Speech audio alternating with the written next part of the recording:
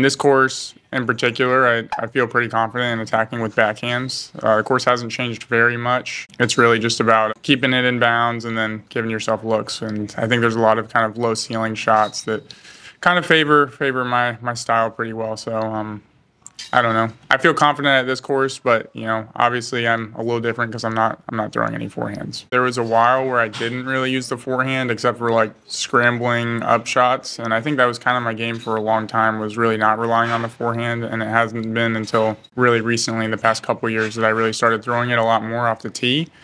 So I, I don't think it's opened my eyes to new shots. It made me revisit, you know, kind of how I played a little more in the past, you know, with more more backhands. Nothing new. I mean, I guess I've been messing around a little more with some rollers, but um, I really haven't busted those out. But that would be the only thing that I feel like I've been working more on, you know, not throwing any forehands. Yeah, I'm definitely trying to rehab to get the forehand back. I, I don't think like, you know, you can't you can't really replace a forehand with with a roller or another shot. I mean, just like being able to throw through the air, you can control so much more than than rolling on the ground. So it's something I you know will use if I need to right now, but ideally, you know, in the future we have the, the forehand again. I got a set of exercises that I'm that I'm working on every day, as well as just you know increasing blood flow to the area and um, you know icing. Just your standard rehab for kind of a tendonitis style injury. I mean, I don't have any scans to confirm that, but there's nothing telling me it's something more than that as of now. I feel like I guess I've got a lot of fans here, so and I'm a player that definitely feeds off energy, as most people know. I play well when I have a you know crowds rooting for me and bringing the energy, and that's something that Texas does. I think it just feels feels homey here. We've played all throughout the state. The Texas State Championships definitely changes venues having that kind of hometown feel, even though it's not my home state, is something that's uh, very comforting for me. Yeah, really, the most focus is just st- keeping my body healthy, keeping you know eating healthy, stretching, doing little core workouts, core exercises to keep the core strong. I think that's important for disc golf to prevent injuries and just injury prevention. This game's hard on the body. I know I heard Calvin talking about elbow injuries, and that's just something that's as an athlete, it doesn't matter how much you stretch and practice.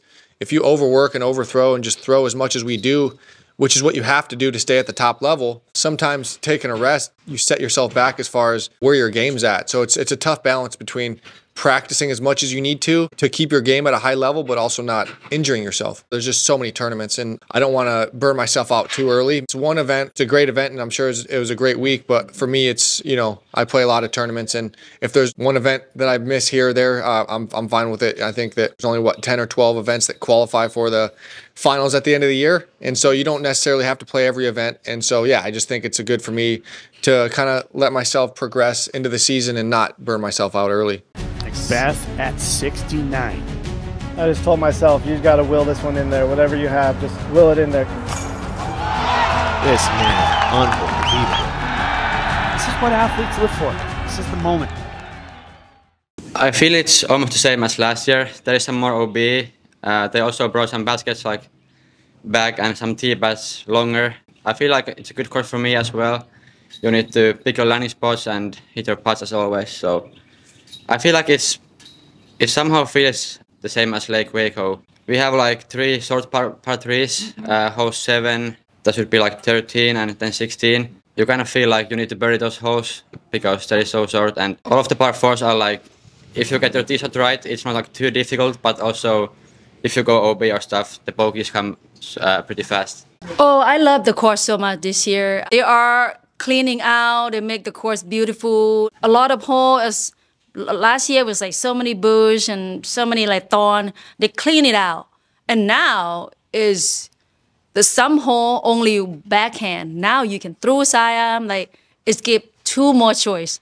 I'm very exciting this year. Like I said, I really love this court. Hole 18. Now I can do sidearm.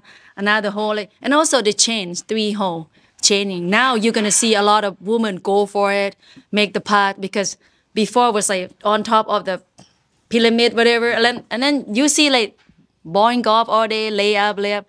This year's gonna be different. So yeah. It's always exciting when you know the field's pushing the field to get better, and it makes for more exciting finishes. And you know you're gonna see people winning from farther and farther down the leaderboard because the scores will hopefully get more compressed. So.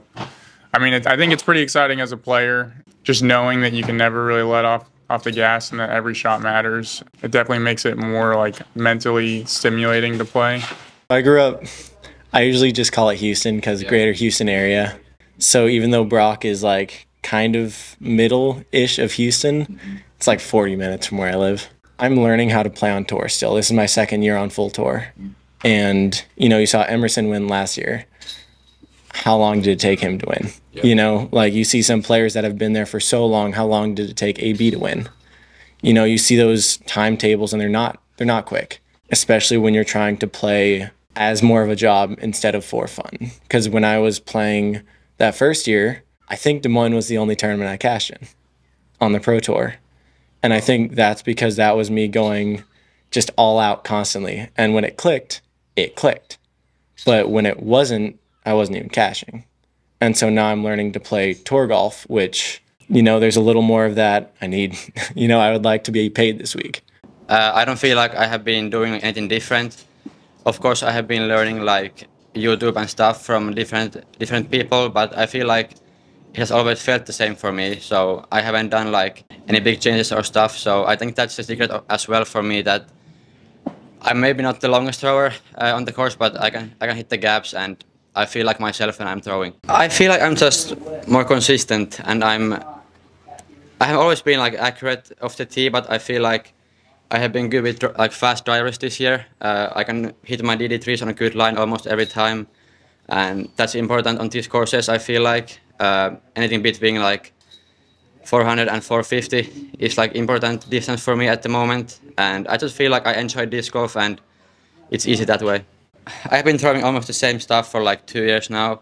If I have like a PD2, I like it to be overstable, but all of those DD3s have been in my bag for like two years or now. So I know this note of disc so well that I know what to do and it's never the disc, it's always me. I think people saw me throw the second run FD last year with the Haglap stamp. Uh, that's no longer in my bag. That's kind of sad, but I found a good FD to replace that one, so I'm not sad. And the molds are pretty much the same. I think like the only new mold of disc in my bag would be a Rock X3. The discs definitely do get cycled through. I mean, it's not like I have the same three eagles this year as I did last year. I mean, they, they break in and start to fly different. So my bag pretty much looks the same because I mean I just have stacks of the same discs that I cycle through, but they're they're definitely different frisbees. Nervous. I heard it's wind gonna coming tomorrow and the next day and whole weeks. I just not good with the putting in the wind. Um, every time uh, when it's windy, I miss a lot because where I live, it's not much windy. Yeah. So we not practice putting in the wind much. SoCal. Yeah, especially I putting inside my house. I just put my basket inside the hallway, mm-hmm. and I put inside my house, so it's zero wind. That's why when I come out here, I have a hard time. So I, I try to putt in the wind, and I I just keep up. I don't know. I that's my big problem. Tailwind is the most easy, so I can just putt high. Headwind, forget about it. You'll you'll see me miss only like even ten feet. You'll be like phew, on air ball, like yep, that's here I am. Um, no, it's gonna be tailwind all day. Um, and then also um, I heard like this weekend it might be like wind chipping like different direction. It's not just only like oh, okay tailwind all time or headwind all time. The wind will be. Uh, it's gonna be a. We're gonna have a hard time this weekend. Um, my drive, I can deal with it. My drive. Um, but putting, even you 30 feet, you you're gonna have a hard time for putting. I build different. I build different. I, I don't care about the past. I'm the move on person and I already forget about that. For me right now, the future, I wanna do it good this tournament. And also even last week, I think I do everything I can and it just it's just only a couple holes got me pretty good, but overall I feel like I do great out there. I come back from 27 place to to solo four.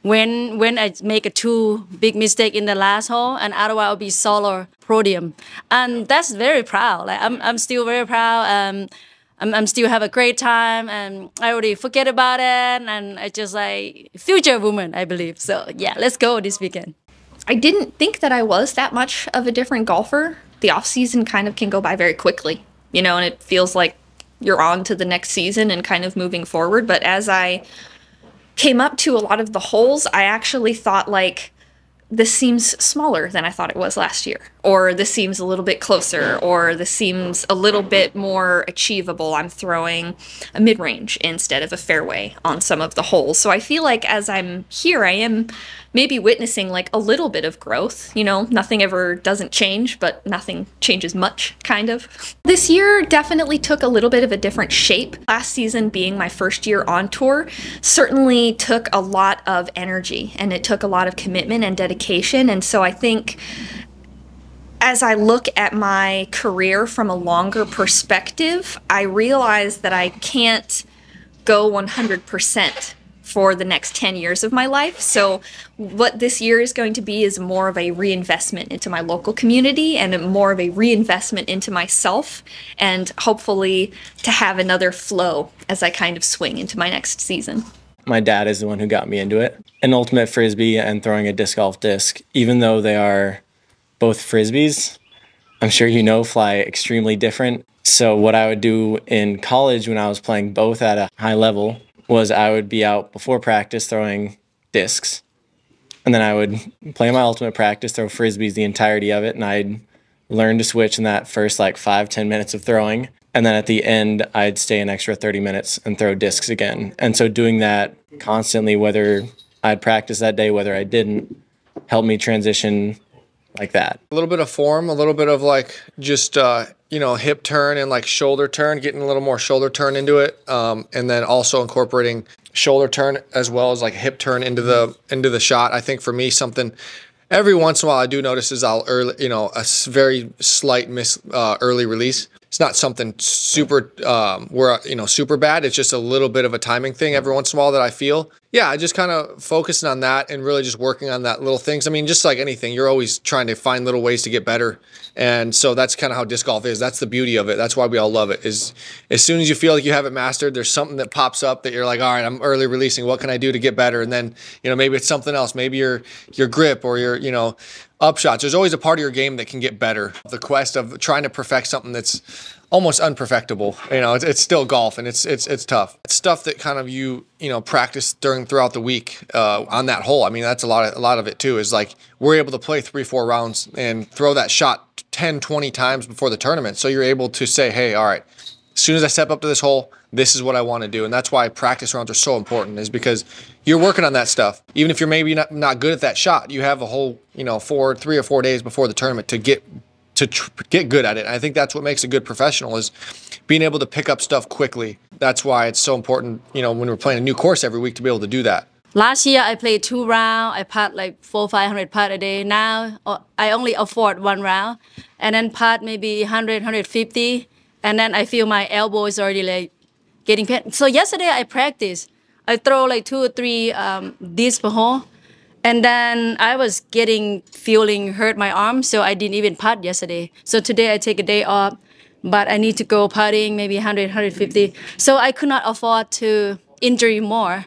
Um, it's just gonna slowly heal, and but so far, you know, I'm getting better, and I think next year will be gone. So right now, it's just the same. Still like 30, 35% left, still the same for so many months right now, and but it can get worse if I'm not careful.